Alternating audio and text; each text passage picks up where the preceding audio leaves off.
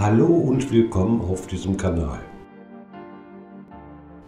Du fragst dich immer, wie kann man wie, wann, wo eine Freude machen. Pfingsten wäre doch der optimale Zeitpunkt.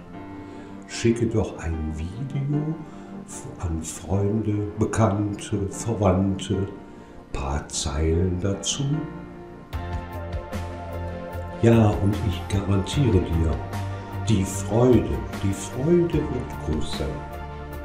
Du fragst dich nun, wo finde ich solche Videos?